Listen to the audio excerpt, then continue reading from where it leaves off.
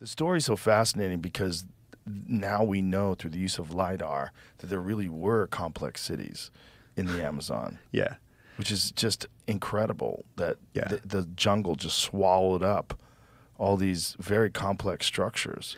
Yeah, it's funny because somebody sent me a video of um, Graham Watkins. Graham Hancock. Graham Hancock, um, saying how he was like, yeah, and he goes, you know, the jungle's basically a human-made garden. And then, of course, I went and talked to like every scientist I knew because I was like, come on. And they're like, look, you know, in the areas around the rivers, there were complex. There was no debating it. There were complex civilizations, sometimes larger than we th- think.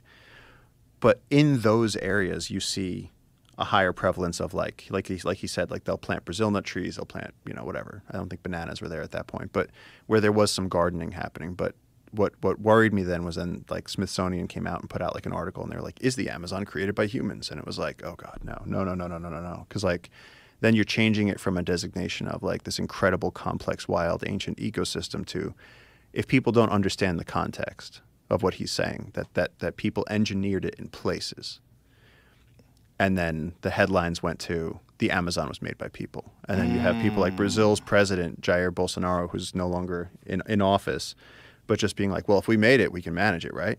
Oh. Let's go take it out. And it was like, I was like, oh God. I was like, I was like, be oh. careful. I was watching him on your show and I was like, oh, be careful, be careful, be careful. Because like the work he mm. does is great. I see what you're saying, but the implications of that narrative. Yeah, and again, th- Yeah. a hundred percent. There are there are, dude. I mean, there, there's there's you find pottery in places, but it's always near the rivers. Like there's evidence of ancient civilizations. You want to hear the craziest thing? One of my guys found a stone axe head. Now here's the thing: the uncontacted don't have rocks. You won't find a rock on our river. There's clay. There are no rocks. They found a stone axe head in the jungle at a site from the uncontacted. But what that means is that the uncontacted tribe had a stone axe head that was that they've been holding on to since like Inca times.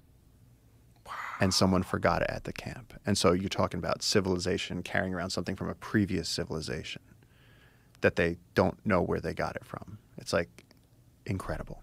Wow. Because you cannot find a there are there are no rocks like that on our river. It was like a, a smooth gray stone shaped into like a blunt axe head with you know made you know so you could attach it to a stick. And they found this on the beach and they'd been using it to like clean turtles.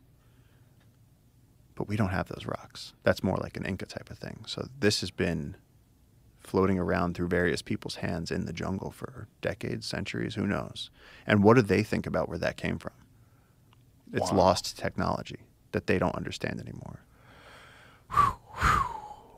So the thing about the Lost City of Z was that there was a previous expedition that had encountered these cities and these incredible, Yes. beautiful, complex cities. And they described how elaborate their clothing was and their culture, and their agriculture. And so then when the next expedition went back, there was no one there gone. because they had killed everybody with diseases. This is the Yeah. that's Yeah. the theory, right? Yeah, and I mean, Orellana was the first person to like go descend the Amazon. Which the thing that always dr- drove me crazy about that was that they came down the Andes, made their way down the entire Amazon, and then like looked at the stars, figured out where Spain was, built a whole other ship, and sailed home. Like, think about that for a second. They built a whole other You ship. built a whole pirate ship and sailed to Spain based off the stars. wow. And like now, like you look at us now, and it's like, are we smarter than that now? Like, how many people can find your way anywhere without like? Well, what is smart, phone? really? You know, I- what what smart is is your ability to use information correctly. Now, what information do you have? Like they had information that we don't have because they needed to be able to navigate using the stars, and they didn't have to deal with the kind of night pollution that we have. The light pollution that we have at night is. It's one of the greatest tragedies about modern civilization is that we've blacked out one of the most spectacular things that you could ever see. The thing that really centers us and humbles us, which is the view of the stars. Yeah. There, I went to the Keck Observatory a few years back. I went last year, but it was really good last year, but not this one time. The Keck Observatory is in Hawaii on the Big Island, and you go way, way, way up through the clouds, mm-hmm. and the view of the cosmos is like you are in a spaceship with a clear glass windshield, and you see everything. There's no light pollution on the island because they have diffused lighting for all their street lights, specifically designed so that it doesn't fuck with the telescopes. And so when you're up there, the, I'll never forget it. Uh, the, one time that I went, which was at least 15 years ago, maybe 16 years ago, that one time was so spectacular that it changed my view of like Earth in, in the relationship to the cosmos just by seeing it. Because you see the Milky Way, mm-hmm, you see mm-hmm. everything, you see all the stars. It just took my breath away. I couldn't stop staring at it. I was like, this is insane. And then I was thinking, God, this is everywhere. This is what th- the ancients used to see before we hmm. figured out electricity and blunted it all. Yeah. And and r- ruined our relationship with the cosmos visually. Because that's what every city does. When you look up at the night sky, you don't see jack shit in New York City. You see a star. Oh, mm-hmm. there's the moon. That's it. What what is up there is the, literally the most spectacular thing that humans could ever witness, and it's there every night if you don't have light pollution and cloud cover.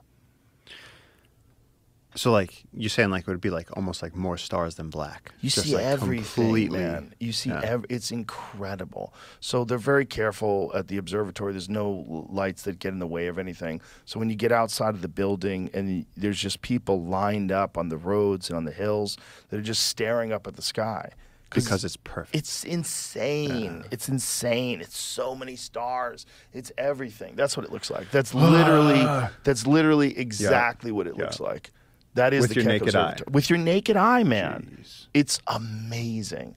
But it's this understanding that that's up there all the time and you can't see it because of light pollution. But see, that to me is so much of what we're doing with nature right now, where it's like we're dulling it down. Yeah. We live in this incredible reality, and it's like we're dulling it down. Like, like in the Eastern Cape, where I've been working with the guys from VetPaw, like the elephants have smaller tusks or no tusks because of poaching. Mm. And it's like you're taking this incredible, monstrous, giant. Is, is that a natural selection thing? Like the, the ones that have smaller tusks are allowed to survive? It's because so they're the- targeted. Yeah, Right. they're targeted for the big tusks. So the big tusk ones are getting killed, Yeah. and so somehow, in response to that, Yeah. they're developing smaller tusks so they're less attractive. to the point that they're even having no tusks. It's like it, it, gen- it like genetically bottlenecked them so quickly because over the last hundred years, uh, the humans were all going for the big tuskers, and now these monster tuskers, like the really big ones where they touch the ground, there's only a few of them left. That is so wild. And so we, and then moose, like in Maine, they have smaller antlers, and like Mm. we're actually like we're we're we're dulling down the the the magnificence of the of the universe. Like when you look at those pictures, you're like, why don't I see that? I picture if we saw that every night.